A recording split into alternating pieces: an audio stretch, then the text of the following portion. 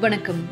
கோவை துடியலூர் வட்டமலைப்பாளையத்தில் உள்ள ஸ்ரீ ராமகிருஷ்ணா பாலிடெக்னிக் கல்லூரியில் எழுபத்தி இரண்டாவது குடியரசு தின விழா சிறப்பாக கொண்டாடப்பட்டது. மூன்றாம் ஆண்டு மெக்கானிக்கல் துறை மாணவர் ஸ்ரீநாத் அனைவரையும் வரவேற்று பேசினார்.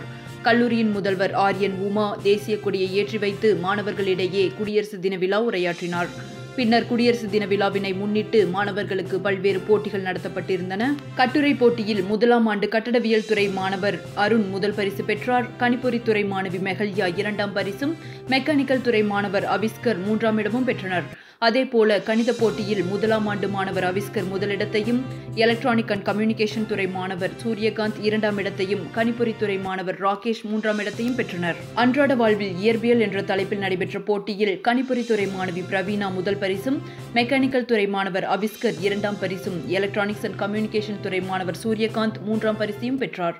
போஸ்டர் தயாரிக்கும் போட்டியில் கணிப்பொறி துறை மாணவி மெஹல்யா முதல் பரிசும் ஆட்டோமொபைல் துறை மாணவர் பிரிஜ்வால் இரண்டாம் பரிசும் எலக்ட்ரிக்கல் அண்ட் எலக்ட்ரானிக்ஸ் துறை மாணவர் ஹரிகிருஷ்ணா மூன்றாம் இடத்தையும் பெற்றனர். அனைவருக்கும் பரிசுகள் வழங்கப்பட்டன.